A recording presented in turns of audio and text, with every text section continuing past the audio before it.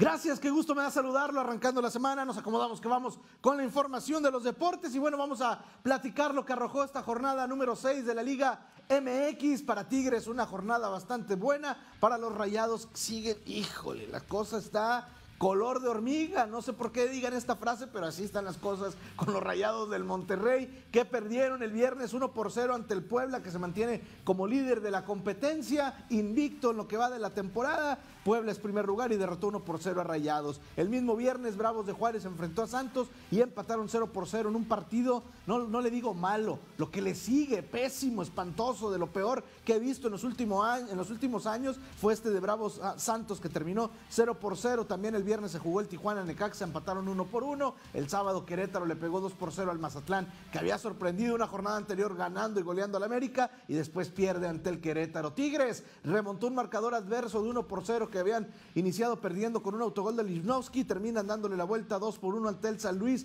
El equipo de León en el último suspiro del partido en la compensación al 95 derrotó 2 por 1 al Guadalajara, mientras que el Pachuca le propinó una derrota más al América en casa, ha jugado tres partidos en las Águilas en el Azteca, los tres los ha perdido, esta vez tres por uno ante el Pachuca, donde Avilés Hurtado, sí, el exrayado, anda con todo, marcó un golazo y puso una asistencia. Y si hablamos de exrayados que andan con todo, déjeme le digo cómo anda Charlie Rodríguez, cuatro por uno, Cruz Azul de visita en el infierno, le ganó al Toluca, donde Charlie Rodríguez se hizo presente en tres de los cuatro goles al poner eh, unas, dos asistencias y un gol para la causa Cruz Azulina, nombrado el mejor jugador de la máquina y del partido. Y después el campeón Atlas empató 0 por 0 ante el conjunto de los Pumas.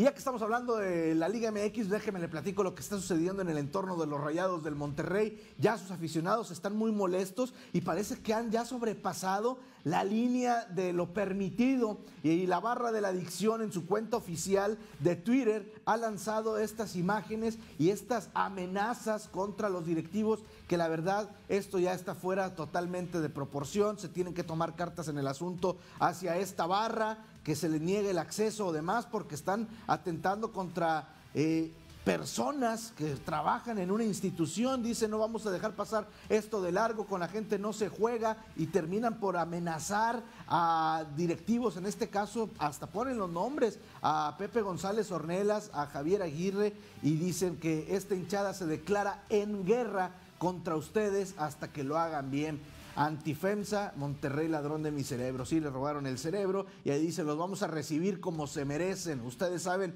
si les causa alegría o preocupación. Estas cosas no pueden suceder, se tienen que tomar cartas en el asunto ante los responsables de estas publicaciones. Se viene una jornada apretada para Rayados del Monterrey, donde jugarán cinco partidos, de los cuales cuatro serán de local. En, en los próximos 15 días, cinco partidos para el Monterrey.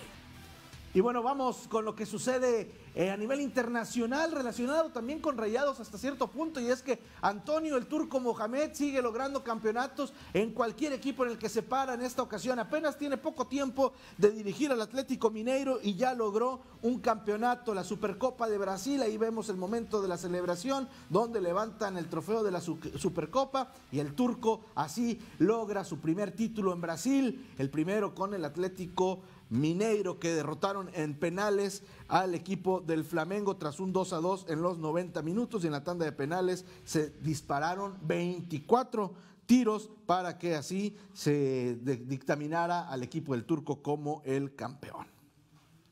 Y bueno, vámonos con lo que sucede también con la selección mexicana femenil que está buscando un boleto al Mundial y la verdad es que lo está haciendo de maravilla. Otra goleada, ¿se acuerda que le había presentado el primer partido que se jugó en la cancha del Estadio Universitario donde habían ganado 9-0? Bueno, pues esta vez le pegaron 8 por 0 a la selección de Antigua y Barbuda. Las anotaciones fueron de Stephanie Mayor con doblete al 24 y 33, Rebeca Bernal, la rayada al 27, Licha Cervantes al 42, Katy Martínez al 61, Mari Carmen Reyes al 64, Carolina Jaramillo al 75 y Mayra Delgadillo al 95. Fueron las encargadas de darle el triunfo a México en busca de un boleto rumbo a la Copa del Mundo Australia, Nueva Zelanda 2023. Este encuentro se jugó en el Estadio Olímpico Félix Sánchez eh, donde la selección mexicana tuvo una excelente participación con goleada.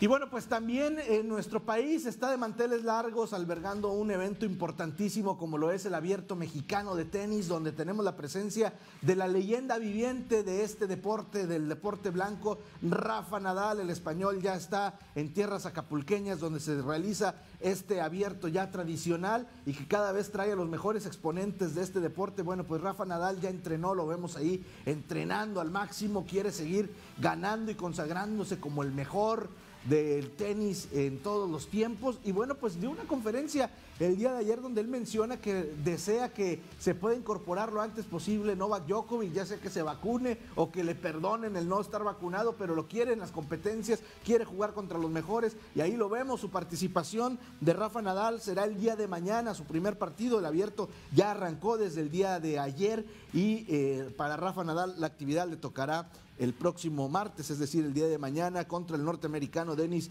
Kudla. Será el primer partido de, competencia para el español.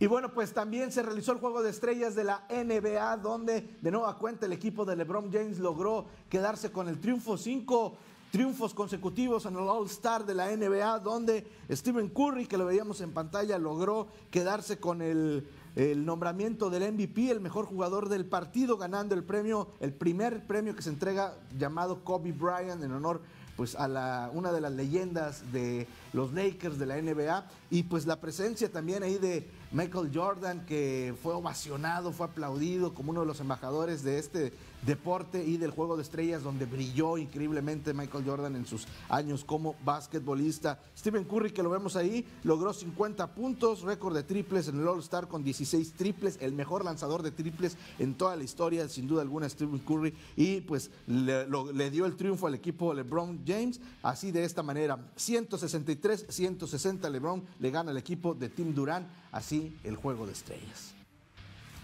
Es lo que tenemos en la información de los deportes. Que tenga un excelente lunes.